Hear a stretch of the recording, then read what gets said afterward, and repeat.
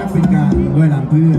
แก้บนนะครับถวายแด่สมเด็จพระเจ้าสังฆราชแตงโมจำนวนสามรอบตามที่เอ่อพระตุ้มพ่วงศรีนะครับผู้เป็นเจ้าภาพได้ระบุขึ้นมาด้านบนเวทีนะครับ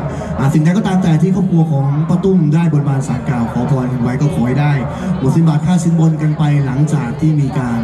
จัดให้มีการลำถวายเพื่อเป็นการแก้บนจำนวนสามรอบครบถ้วนนะครับผมแล้วก็และรอบต่อไปนะครับเดี๋ยว รู้กันดีว่าจะต้องเป็นรอบหวานแน่ๆแต่ขอฝากไว้สักนิดถึงทุกท่านที่ขึ้นมาร่วมสนุกด้านบนเวทีจะต้องมีหน้ากากผ้านะครับครับหรือว่าอ่าหน้ากากอนามัยเนี่ยปิดปากปิดจมูกขึ้นมาทุกคน100%ร้อยเปอร์เซ็นต์นะร้อยเปอร์เซ็นต์นะครับเมื่อหมดรอบแล้วก็เคลียร์เวที